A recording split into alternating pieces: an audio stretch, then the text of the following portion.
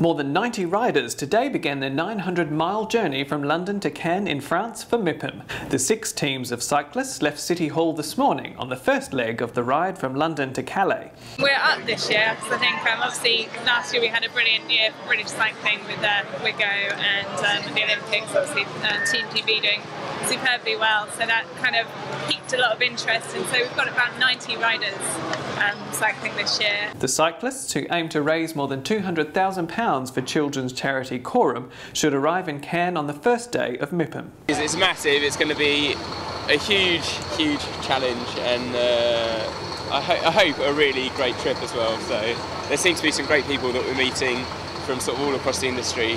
Um, so really great opportunity for people to come together. Really. This year's event, sponsored by Broadgate Estates, features Olympic medalist Lizzie Armitstead, who will join the peloton for the final stage on Tuesday.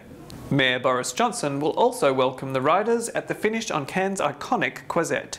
So we're very proud to be sponsoring and uh, great that we're leaving from More London as well. It's a great venue for this uh, and PwC have done a great job with Brigade in terms of the breakfast as well. So it's all worked out really well from a logistics point of view as well. And Nick, team sponsor? Yeah, team sponsors this year, which uh, I think is the second time we've done that. Uh, I'm looking forward to just get going, the same as Steve.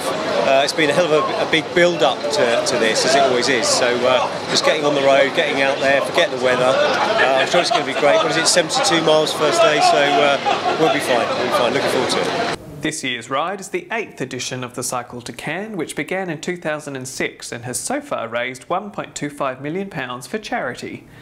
Head to Estates Gazette's blogs page to keep up to date with the challenge every day until their arrival next week in Cannes. This is Nathan Cross for Estates Gazette.